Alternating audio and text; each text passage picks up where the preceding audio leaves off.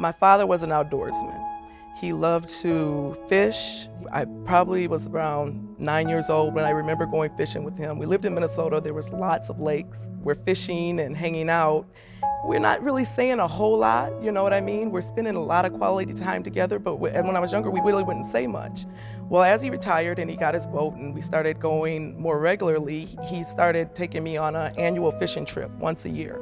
As an adult now, and I'm going fishing with my dad, we had we built a much different kind of relationship. He would talk to me um, often about just my life, you know, and I would talk to him about my life. I traveled a lot and throughout my career, I've always been just kind of the person who just pushes to get to that next level in my professional career. He would say, uh, sweetheart, you have just got to slow down and smell the flowers. It should have been roses, but he said flowers. That's just how, that's what it was.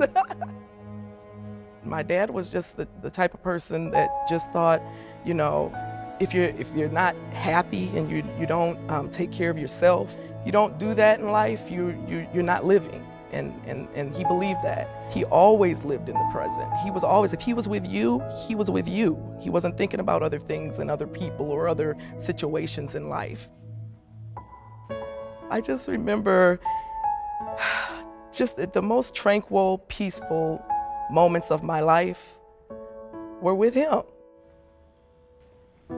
He just taught me to really be a calm, patient, caring individual, which is what he was.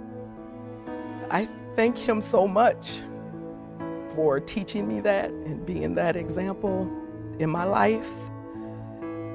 He was right, and I've, I've, I've tried my best to hold on to that.